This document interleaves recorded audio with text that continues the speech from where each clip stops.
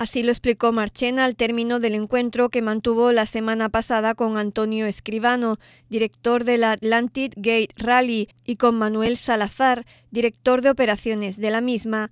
La edil señaló que además de contribuir al éxito de la regata, el principal objetivo es conseguir la cobertura internacional, especialmente en Europa, de las actividades ligadas a la misma que tendrán lugar en el municipio de San Roque. Marchena apuntó que en la reunión hablaron sobre las actividades que se organizarán especialmente para los regatistas que participan en esta competición, que ya el año pasado fue muy bien valorada. Están seguros de que conseguirán el apoyo de las empresas turísticas de la zona para ofrecer de nuevo una oferta de calidad.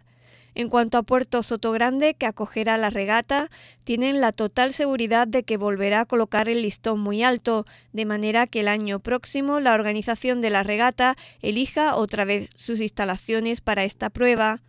La edil afirmó que Puerto Sotogrande es un referente en calidad y en servicio dentro de los puertos deportivos españoles y quizás de los europeos. Desde el ayuntamiento se tiene el compromiso firme de potenciar su actividad porque son conscientes de su importancia para proyectar una imagen altamente positiva del turismo sanroqueño, con todo lo que representa en cuanto a creación de riqueza y empleo. En cuanto a la difusión del destino San Roque, tanto la organización de la regata como el ayuntamiento están trabajando en conseguir el mayor impacto en los medios de comunicación europeos dedicados al turismo y a los deportes náuticos.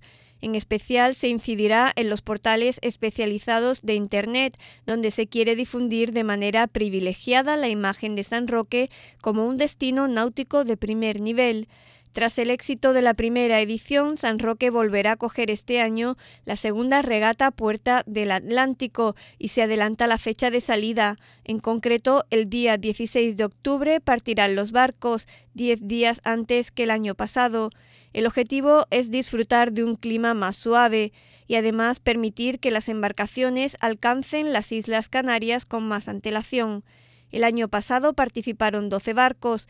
Hay que destacar que la última etapa tiene un toque especial, ya que la organización premia a la embarcación que realiza en menos tiempo la travesía entre el estrecho de Gibraltar y Lanzarote.